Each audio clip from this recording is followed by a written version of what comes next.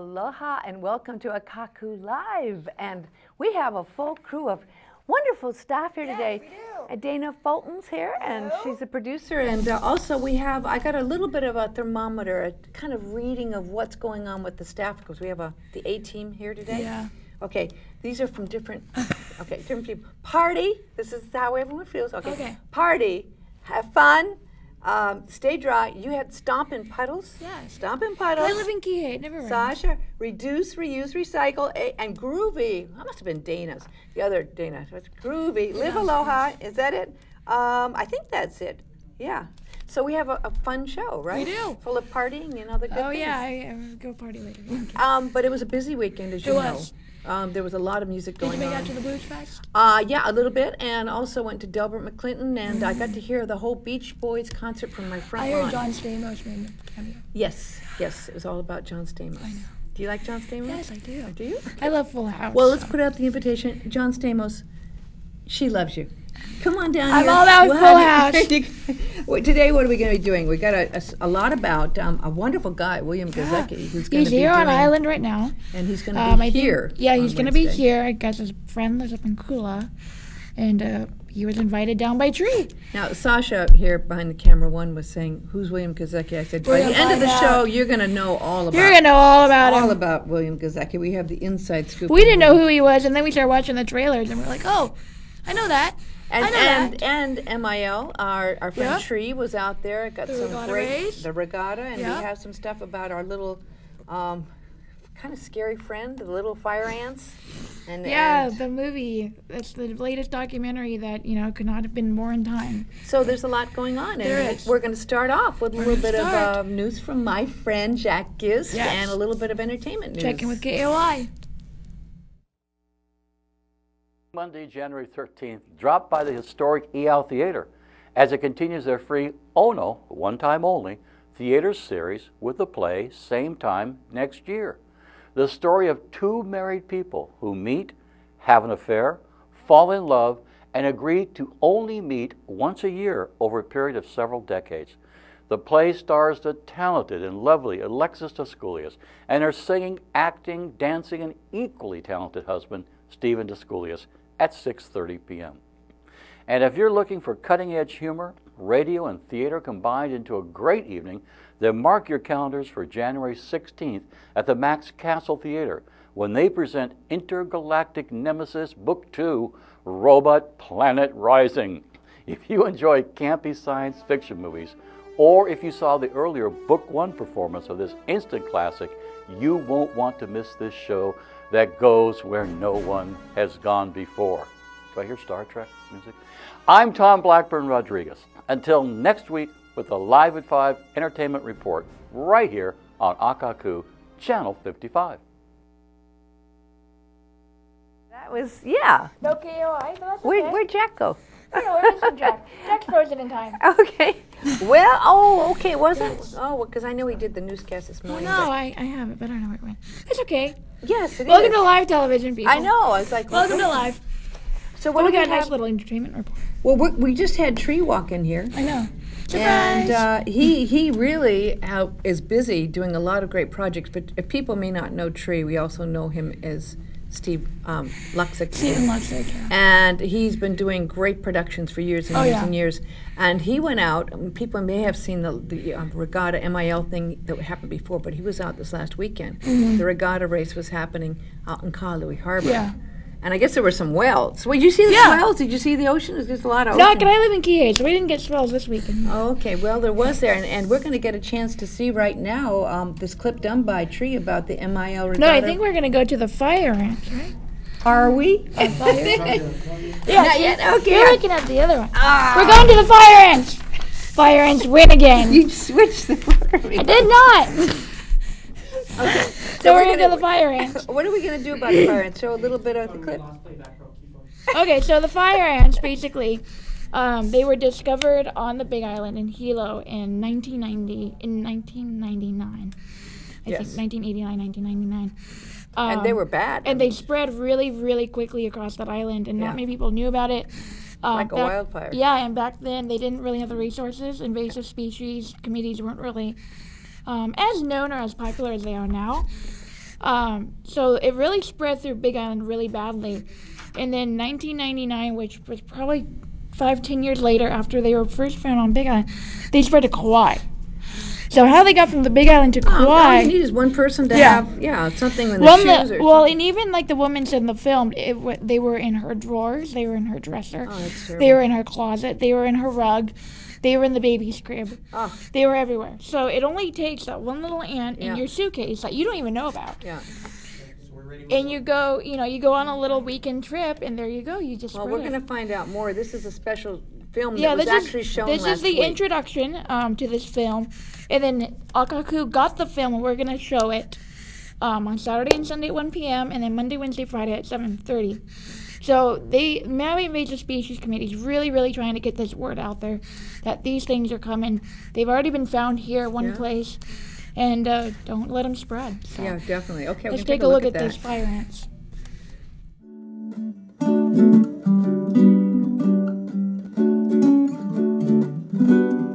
Hilo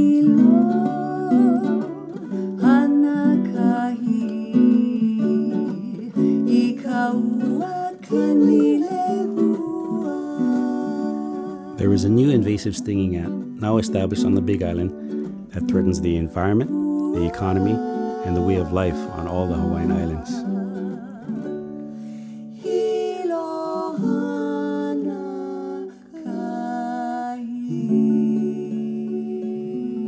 How could this be? How could I not know about this?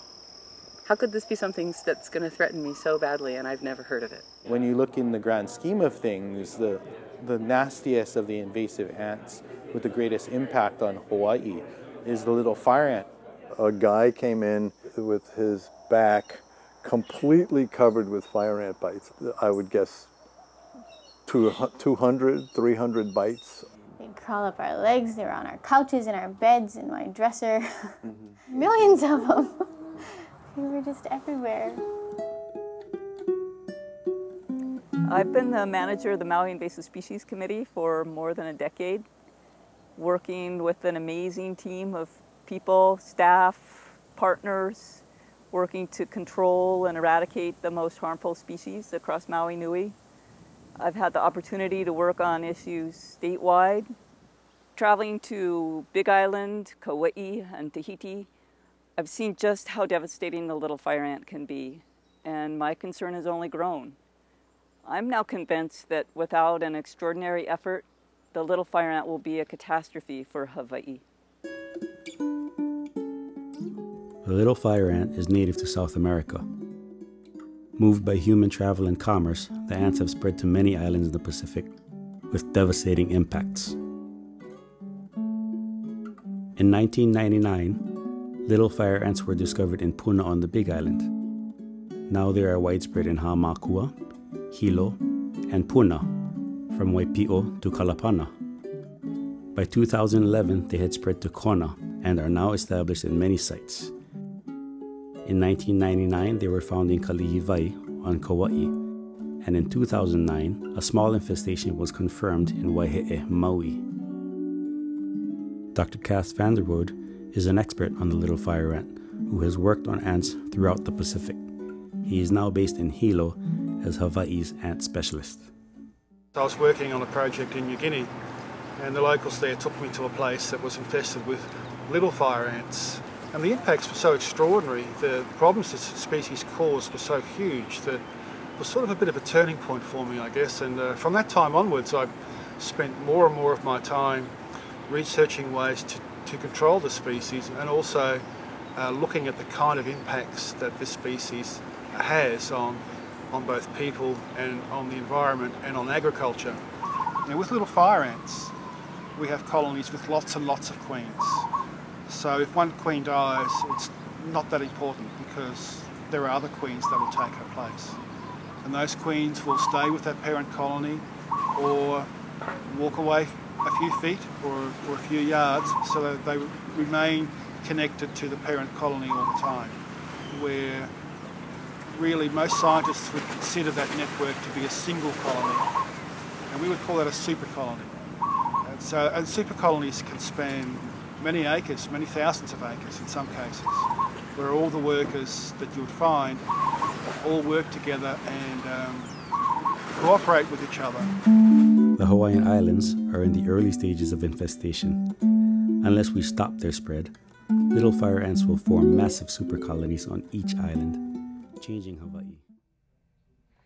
That was a very powerful piece. That was very informative. And by what you said again, that's going to be shown in its entirety on Saturday and Sunday at 1 p.m. and uh, Monday, Wednesday, and Friday um, at 7:30. So 7:30 Akaku. We'll be able to see that because that's very important Well, information. and the most dangerous, you know, what I watched the whole thing today to kind of piece it together in my mind. And in New Caledonia, where I guess they came from, they are they make up ninety percent of the insects there because they have killed off everything else. Even centipedes? Sorry. No, I was There's a silver lining. There's a silver it's, it's lining. scary. I mean, I, I It is those- ninety percent of insects. So, no, Wow. I mean, think of it. No more butterflies, dragonflies. So if, if you don't get it in the early stages and stop it, it's really it's never almost going to stop, and it's impossible. going to be 90 percent to hundred percent of every insect you see. And the impact will be very. Well, they hard get to- into fruit. So They think- get into fruit? Yeah, they think they get into fruit. So think of um, Oh, my. So think of farming. Wow. Um, that's what happened in Tahiti. That's the expansion of the Tahiti It's- part. really? Is that it got into the fruits, and the farmers are have able to kind of relegate it to their Uh-huh. farms, but they can't get rid of them. But they can contain them because they live in trees. Unlike most ants, live in the ground, right? Like an ant. Oh, they're tree ants. They're tree ants, but they don't. So, but they don't hold on to the tree very well. So if you bump into a tree, they'll fall on you. And you may not even know. Oh, you'll know because you'll oh. burst out into rashes. And, Really? Yeah. So it's really kind of insane that these little things. I mean, they they can't. They live in trees, which is rare, and they fall. They one little touch to the tree and they'll fall on you, and burn you. And they knew about it in Hilo, but they couldn't stop. It was in uh, Hilo, and also now it's spread over to Kona. Now it's spread over to Kauai, and and they said they have seen um, some in here They found. Hawaii. Yeah. Yeah. That's the scary part. Yeah. So, Sorry to hear, so uh, I guess the thing to do is, first of all, you watch the films if you get a chance. Well, yeah, and what they say is you put a little piece of peanut butter on a stick and you stick it in, in, in a tree or on your tree and you wait 45 minutes. And if the thing's covered in ants, you, you're supposed to freeze it and put it in Ziploc and take it to your, um, your local agriculture department. They like peanut butter. They like peanut butter. Wow. So, um, if you suspect you have them, that's Yeah. what they're saying to do. Put peanut butter on a stick, put it on your tree, wait the 45 minutes, and then if you see anything on it at all, they're tiny. They're one fourth of a millimeter. Yeah. So if you see anything at all, freeze the stick and take it into the agricultural um, center, and then um, they can report it, or they can. I guess there's three different kind of stinging ants here already, Yeah. so they have to properly identify it. Well, I think we found Jack. We did find Jack. Jack's back. Jack's back. It's good. I like that. Um, and we're going to check out what was happening with news. We We're going to do this earlier, but this is live TV, so let's go to Jack. Let's go to Jack.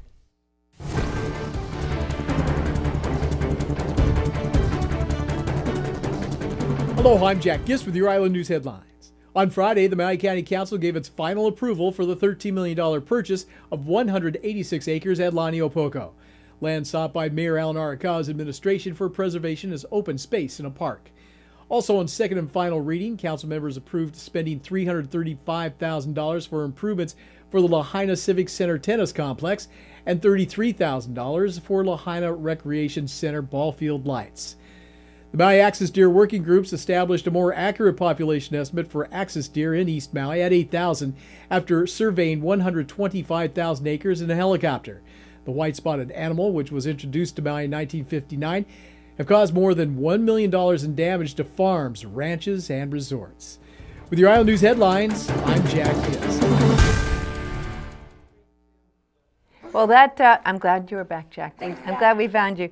Um, now, there's going to be a very interesting salon workshop Very here. big to do on Um, meet the filmmaker William Gazecki is happening here at Akaku on Wednesday, and this is going to be a very good one. It's happening from 5 p.m. to 7, and it's open to anyone. Obviously, it's free. Yes. And it, this is really um, something because I know I've done. Actually, I took the USC documentary film class here. That he- was held, and I know there's many wonderful documentary filmmakers on Maui, but very few of them been able to get to the level that William is. Yeah.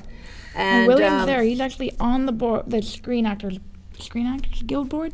Um, Yeah. yeah. I think the academy actually. Yeah. Right. And and so it, we're going to you know give you an opportunity to come down to Akaku and meet him. him. Yeah, and we have some of his uh, Yeah, little let's, clips. we're gonna watch a- two of his trailers right now. Okay. And things I used to.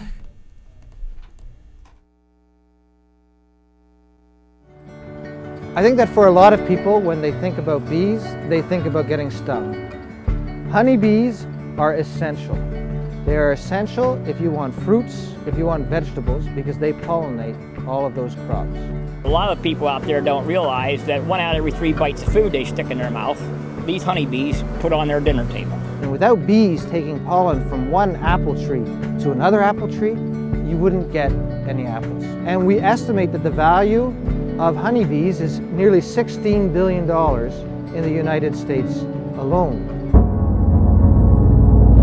Something is killing our honeybees in staggering numbers. There's a name for what's happening colony collapse disorder. We're defining colony collapse as a condition where we see the rapid loss of the adult bee population. Well, here's a beehive these bee scientists found a couple days ago. It was full of bees. Three hours later, nobody home. Something weird is going on here. Normally, when a hive of bees is dead, first thing that happens, the other bees come in and rob it out. And with this new phenomena, the boxes are full of honey, and 100 yards away sits another yard of bees that won't even look at this stuff. Ooh, well, that one's gone.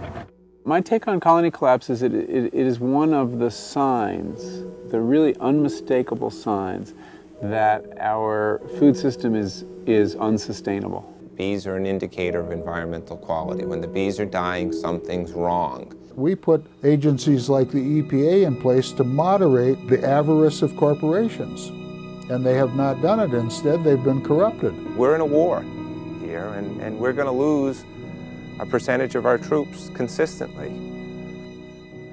We're, we're going to keep fighting. We don't have to wait for the government to act on some of these issues. We can do something today. We are going to try to save them so um, they won't disappear. We are starting a biodynamic farm.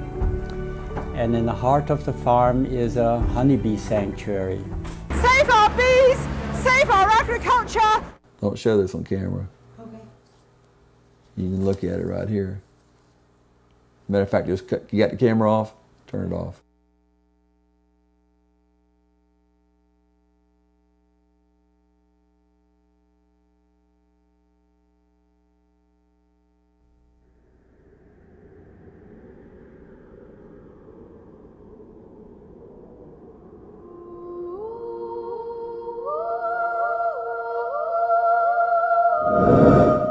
These things are footprints of intelligence, intelligences. A mutual exploration of what is possible. possible. To understand the message is to assume there might be a message. message.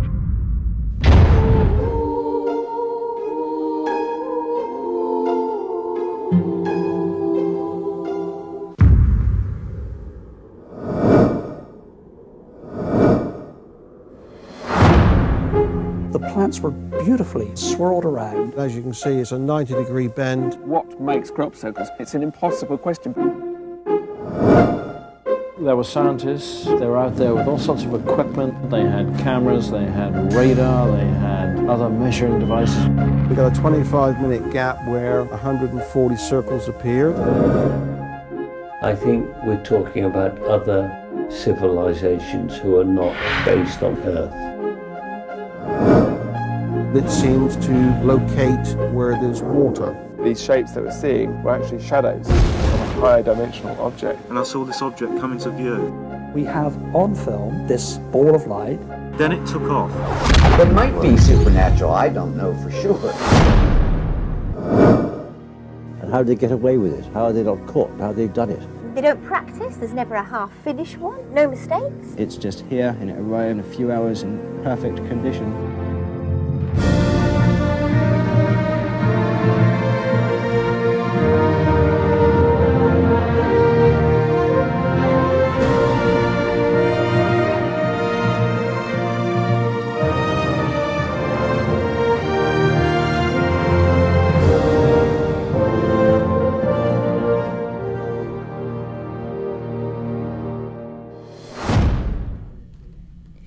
Having a discussion about aliens. Dana doesn't. She's afraid of aliens. I love aliens. I think aliens are far superior. I think they could answer a lot of a lot of questions for humanity. I think they would really unlock the key to what So- kind of where we came from. How are you going to speak to aliens? I don't know. If I'll probably run away and hide in my closet. No. Tele- telepathically. Okay, so we are so lucky to have such great canoe people out there Yes. and um, talk about art. And we've had Mahina. Martin on the show. We trees always Yeah. here. So we are very involved in this community, and that's why you know we do get this awesome, awesome footage every Really great stuff. And, and uh. Tree was out there and he did get some great footage of the MIL but we didn't get any aerials this time. Well, yeah, but we will. Yes. It's coming. They're so, coming. So we're going to check out Tree's wonderful work with Let's the MIL in with the regatta. It was a really beautiful day, Saturday, January 11th, for the third MIL Regatta. Starting out with Varsity Girls 2, four canoes on the water, with Kamehameha on the inside lane. King Kalike pulled out ahead to take first place for Girls Varsity 2, followed closely by King Kamehameha. Baldwin High pulled in for third. So it was Kekaulike, Kamehameha, Baldwin, and then Maui High. For the boys varsity 2, Baldwin had an unofficial boat on the far outside lane that tried a new starting technique with a running start. Baldwin High School official boat was in lane 1 with Maui High in lane 2 and Seabury Hall in lane 3. Coming into the finish, Seabury Hall was officially the first boat across the line, followed by Maui High and then Baldwin. So again, Seabury Hall came in under four minutes with Maui High and Baldwin.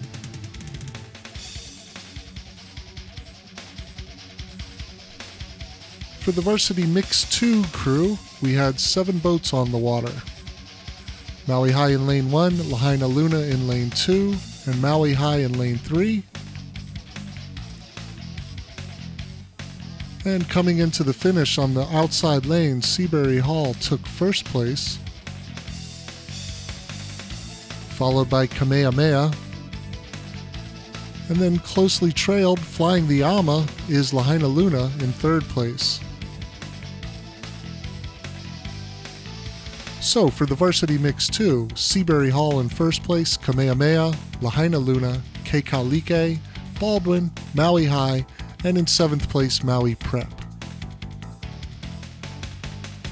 For the girls, Varsity 1, Seabury Hall in lane 1, Molokai in lane 2, Kamehameha in lane 3, Baldwin in lane 4, King. Kalike in lane 5, and Lahaina Luna in lane 6 and it was a stroke for stroke battle. Seabury Hall beating Molokai, coming in strong in lane one. Molokai, second place. And pulling in for third, King. Kalike. So again, Seabury Hall, Molokai, Kekaulike, Kamehameha, Lahaina Luna, and Baldwin. For the boys, Varsity 2, King Kekaulike in lane 1, Seabury in lane 2, Maui High in lane 3, Lahaina Luna in line 4, Kamehameha lane 5, and Baldwin in lane 6. After the turn, Baldwin commanding lead to take first place, as they have all season. Seabury Hall very closely behind second. Third place was Kamehameha, followed by Lahaina Luna, and then King Kekaulike.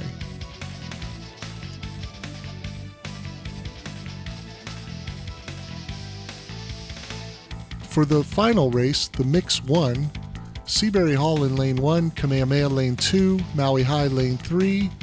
In lane 5 was Baldwin, lane 6 was Lahaina Luna, and lane 7 was Kekaulike. Seabury Hall in lane 1, very nice stroking together, took first place, followed by Kamehameha. And in third were the mix Baldwin. So with Seabury Hall taking first place, Kamehameha second, Baldwin in third, Kekaulike fourth, Lahaina Luna fifth, and Maui High in sixth. Next week, the regatta is at Kalai Pohaku in Kihei. Come on down and support our youth. Well, that was a beautiful piece. Uh, good job, Tree. Uh, very professional. Really, really great. You know, there really is an A team here um, at Akaku of excellent people at, with doing so much for the community. Uh, speaking of the community, I was talking to Dana here about what's going on again. That William Gazecki's 5 to 7 p.m. here at Akaku. At Akaku. And this Friday is Third Friday, and that means it's Makawao. Makawao down. And then it's Martin Luther King birthday. And there'll be a Martin Luther King birthday uh, gathering at 8 o'clock on Monday, January 20th. In Wailuku, there'll be a parade from, um, there's a peace pole there at 200 Vineyard, and they'll walk on down to the banyan tree. Um, there'll be talks and uh, entertainment and everything happening on Monday in honor of Martin Luther King Day. And then you know what's after that? Gong Hei Fat Choi. We were having a debate about if it was the year of the snake or the. I mean, we I thought it never the quite- horse. Is it the year of the horse or the snake? I thought it was the horse. I thought it was the horse too, but someone else said it. Peter thought it was the year of the snake. I think it's the horse. But we'll find out because Maui Mall is going to be doing the celebration, Yes, and it's they will. free on February, a Saturday, February first. Um, I love the Chinese. No, daytime. Is it in the evening or in the afternoon? Uh, I think it's daytime. Yeah, I love the Chinese New Year I love the dancing. I love the And the music and, the oh, bells. and the lion, you know, Yeah. and feeding the lion, Yeah. making that. It's just, just a, it's a great tradition, and they. Oh, it's just so much fun. The banging of the drum and the whole thing. It's it's That's why I wonderful. love So- Hawaii. There's so much culture. But we will find out if it's the year of the horse. Yes, I think it is too. I think it So- is. The so only do we bring the doubt is I dragon bought some stamps and I asked them for Chinese New Year stamps and it said snake on it, but maybe it was last year's. But So but- should we bring the dragon hay this year? Uh, no cabbage. no, actually, you're supposed to feed the dragon money. I know. You feed the dragon money, and that's you know what these people who do it are excellent. They are. Really they do it every year. Really top quality. Every year. So uh, I'm ready. I'm ready for the Gong Hei Fat Choi stuff. You know. So it's been a it's been a very interesting show, and we have a great crew, as we were both do. saying. Yep. Um, really lucky. We have to a very lucky show. Very lucky crew with a show. And if you ever want and you miss it, or you know you hear about the show and you don't, now it's playing also at seven o'clock. Like today, Mhm. it'll it'll repeat at seven o'clock. And And, Akaku Live is now playing two. I think we play in the morning sometimes, but I don't know the actual Yeah. time. But we do replay it in the morning. So, So it's kind of great, and I and I have to say, there's a wonderful crew here, absolutely fabulous crew. Great Helping us tonight is Jason, who's been volunteering here for years. Years. At Akaku. Um, Anne, hey Anne, camera, camera two. Um, Robert doing a great job. Always make sure the lighting and everything is right. Um, Peter, who is really aw- um, awesome, helping out today he's, as well. he's just like Mister Everywhere. Dana Lang, the other Dana. Yes. And um, also Sasha and yay Sasha. Hey. And uh, Chris Chris Stack. Chris Stack is helping today as well. And their words of wise for the day is party, groovy, live aloha, fun, reduce, re- and recycle. What is it? Reduce, reuse, and recycle. Yeah. Thank you, Sasha. You're stomping the puddles. How can I live in Kihei? We don't ever get rain. and stay dry, and I'm practicing aloha. We're going to go out with the webcam up on the I don't think we're gonna get a webcam. We can try. Hold on. We'll see. We're going to try to get the webcam to go out. online and we can try. Yeah, we're going to see what it looks like. But Oh, yeah. remember those pesky little fire ants. Yes, don't forget the fire ants. Um, you can see that show about the pesky fire ants. There's, um, we're going to see if we can get it. There's a camera, a webcam on the roof. It's got a view of the, of the gas station next door. Not a real exciting view necessarily, but um, we might. But it's all wet outside. That It is. rain came in strong. Oh, we're looking at it, but they're not Yeah. seeing it. Oh, Oh, yeah, there it is! Yay! See now, you not you may not see that on Dairy Road, but that's the big hole next door at the gas station. So they're ripping out all the gas tanks and putting in new ones for the EPA. Well, thank you.